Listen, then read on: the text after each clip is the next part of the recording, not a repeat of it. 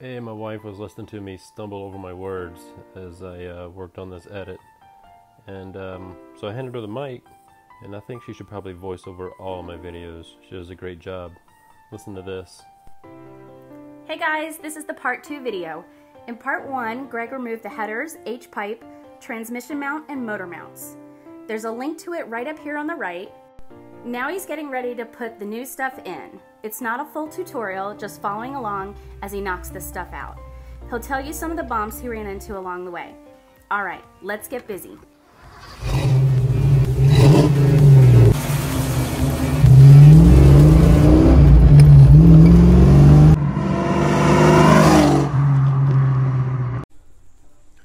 Alright, so I've got this new one in place here. Just kind of hanging in there. Had to lift the motor up maybe another half an inch. So I'm just going to get the uh, nut started on the back of this bolt. And then uh, I'll get the bolts uh, going into the engine, into the block. So I'll um, probably go ahead and tighten down the bolts that go into the block and just leave this one loose while I do the other side. Alright, so I've got the other one other one done. I got all the bolts taken out. The nut off of here and the two uh, two bolts off the engine block. So this thing's nice and loose now. So I just need to lift up the engine a little bit more. That'll be ready to come out. I think I explained this in the last video, but not this video, that I'm doing these motor mounts one at a time. So um, I've bolted this one in. Now I'm working on the driver's side uh, pulling the old one out and popping the new one in. So I'm just sw swapping the uh, engine hoist from side to side uh, so I can do it like that.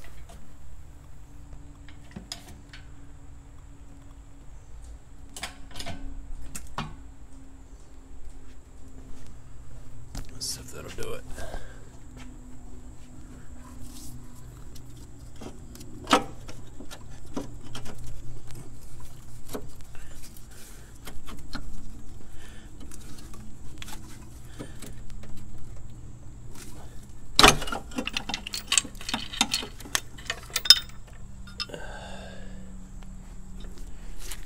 Go. It's rattling around in there. So you can see how loose.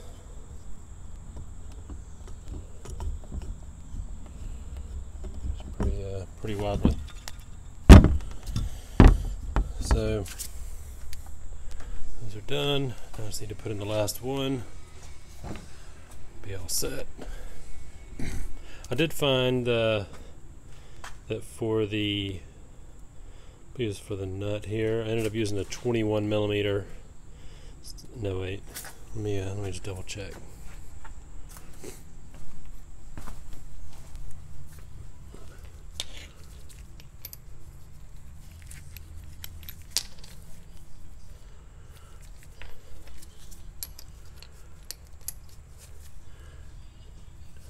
Yeah, it's a 21 millimeter I used on this nut here. I had a different socket that would fit it, but it was pretty tight. It was a 13 16ths. So I'd probably go with the 21 millimeter instead.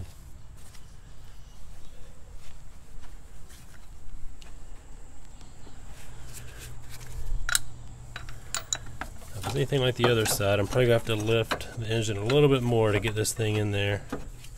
Again, be careful of your uh, spark plugs. You don't want to damage one of those.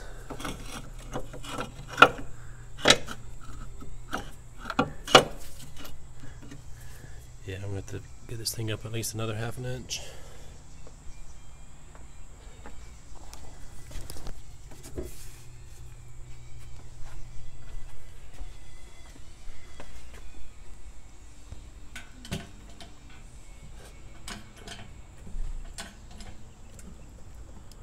Might be it.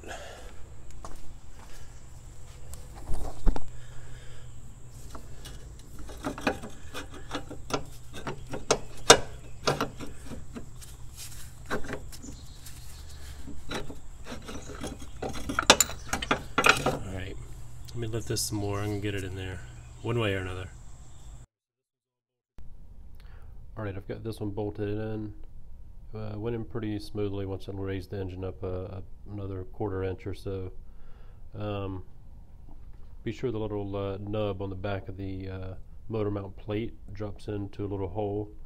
Uh, one way you can get leverage on the motor mount um, to move it is just put a screwdriver in there just like that. And that little pin on the back is uh, right there. Alright, so next I'm going to uh, go ahead and pull the uh, engine brackets off of here um, just because they're going to have to come off to put the headers in anyways. So I'll uh, we'll go ahead and pull those off and then I'm going to jump underneath and start on the transmission mount. Alright, so I'm ready to mount the transmission cross member and the new mount here. So first thing I'm going to do by the way, the way they have this laid out, this is the front of the car on this end, this is the back of the car. Uh, so it's turned just like this. Going to put these two pieces together and then re-bolt this up to the bottom of the transmission using the factory bolts. I'll get a shot of it kind of halfway through the install so you can see what it looks like. Alright, so I've got this mounted up here with the exhaust hanger. The bolts are almost all the way in, but they're not tight, so you can see this still moves around. Now you want to uh, just bring up, I got one end of the cross member bolted in, so you can just raise this up to where it meets the transmission mount and get your bolt started in there. Alright, so I've got the two bolts started under here. So I'm going to uh, bring my jack over. I think just jack it up right into the middle here just so I can get this end of the uh, cross member to line up. So once that bolt is in, I'll go ahead and tighten down each end of the cross member and then I'll go back to here. I'll tighten down uh, the top bolts first and then tighten down the bottom ones last and I'll look up those torque specs and let you know what those are. If you missed it, I explained in part one that the exhaust hanger uh, was mounted upside down originally, so I installed it uh, just like it was mounted before. So the way you see it here is actually upside down, so you'll want to flip that over, which I ended up having to do when I uh, took the car to get the exhaust welded in had to take uh, all this back apart and flip that exhaust hanger over. So what you're seeing now is upside down. But I did find where uh, the bolts up here, um, where the mount uh, bolts right into the transmission.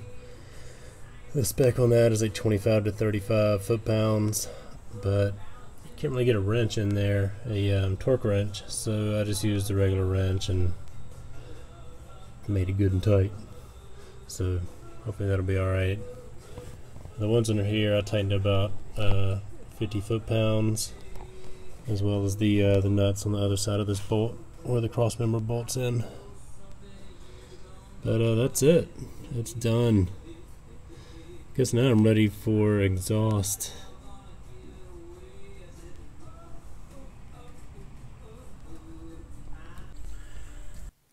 A, uh, another thing I realized that I, I, didn't mention during the video uh, is the gaskets that I used. I used the metal OEM style gaskets that came with the headers uh, for this installation. But there are also some other Fel-Pro gaskets that several people have recommended, and I'll put a link to those down in the summary. Alright, so I've got this side completely bolted up, got them torqued down toward these to around uh, maybe between 25 and 30 foot-pounds. Um, some of these tubes are so uh, so fat you can't really get the uh, a socket on there. So the ones I could get to with a socket I tightened down to about uh, 25 foot-pounds, but then the other ones I just used a wrench and got it as tight as I could get it with my uh, little 10 millimeter wrench. That should be good. This side driver's side you do have to take out the uh, the oil dipstick and that's just a pressure fitting so you just have to uh, work that back and forth and then finally it'll it'll come out of there just like that and we can get that those headers in on that side. All right, let me knock that out, and then uh, we'll put this dipstick back in. Men's garage is like National Geographic. Go in here to grab one of these bolts. I see this thing crawling around. If you'd only gotten my reaction on camera when I first saw that and I had my hand down there about two inches from it.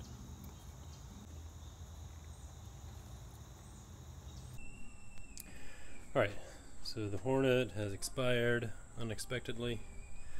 Um, so one issue I've run into is the the heads of these bolts were too big to clear the uh, the larger size uh, tube here, so I had to get some bolts with smaller heads on them. I'll show you the difference. So these are the ones that came with the uh, headers, and these are the ones that I bought. So you can see the difference in uh, the size of the head there. Uh, so these are a 10 millimeter, and I couldn't get a socket on them, or even a wrench really. These are a uh, 5 16ths, so I can use a little quarter inch socket with an extension and uh, slip by the uh, the tube of the header there. And then there's a washer that goes on there. So if you do need to get these, I've got a part number here. It's the ARP 100-1110. Alright, so uh, got all these torqued down. I used uh, one of the new bolts over here on this side. All the rest I used the bolts that came with it. This side, a little bit sharper bend, I think, to clear the uh, steering shaft down here. And a little bit sharper bend, and I just wasn't quite uh, able to get the socket on there, so I used four of those new bolts on here. The other issue I ran into is where I had to use one of these smaller bolts instead of the factory bolt. Uh, I don't have anything to attach my uh, dipstick to here, so I've got to figure out something to do with that. I'm thinking about doing a little small tack weld just on the edge of the header there, this metal piece. So uh, I'll look for some feedback on that. I'm not to mess with it right now. Uh, but I did have to pull this dipstick out. Um, so I just kind of twist it and pull, and it'll, it'll eventually just slide out of the block. And then to put it back in, I just used a long uh, flat blade screwdriver and stuck down through the uh, the header here to get to the end of it. There's a little ridge, and uh, tap that back in very gently until it went all the way into the block.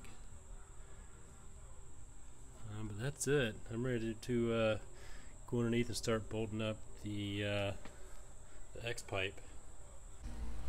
Alright, so I've got the uh, X pipe started. I would recommend having two people do this. If um, if you've got the just a, a nut and a bolt that hold hold this in place so you can have somebody up top holding that bolt um, where you start the nut. The uh, factory headers have a built-in bolt so it's a little bit easier.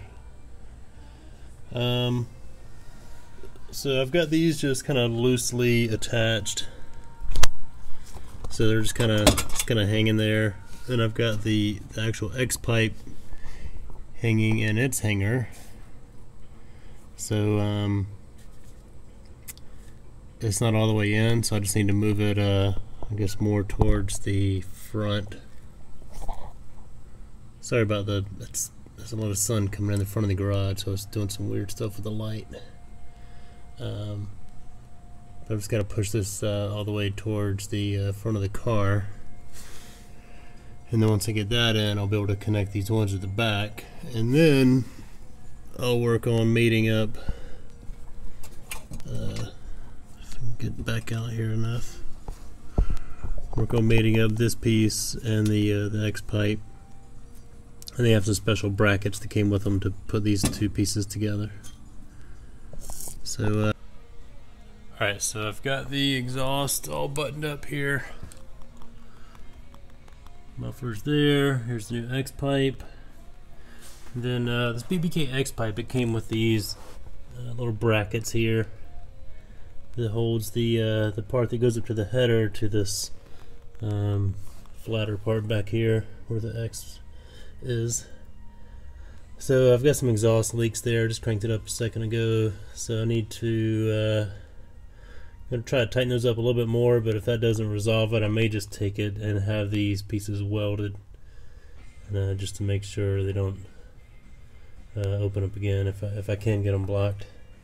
So, other than that, it sounded really good. Nice and loud. I've got it backed into the garage, so it's kind of hard to tell exactly what it's going to sound like on the road, but it sounded good in here. Um, so I've got these uh, braces that were bent before, and I got them pretty much straightened out. So I'm getting ready to uh, put these back on, and uh, I think I'll be about done with this. I do have the uh, control arms that I may do a different time. So uh, I'll put those braces on, get it on the ground, and then uh, see what it sounds like out in the driveway.